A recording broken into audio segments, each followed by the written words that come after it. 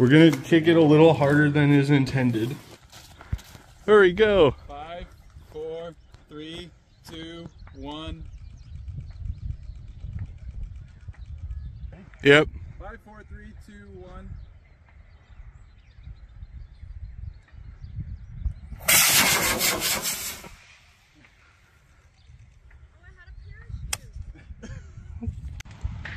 Wow, okay, so debriefing on the dude flight, so good on the E20, nice and straight. I mean, this is the thrill of rocketry right here. This is what it's all about. You know, Wernher von Braun laid the groundwork for us to be where we are today, and the fact that we're just flying dudes, like, no problem, dude. Oh, man, dude.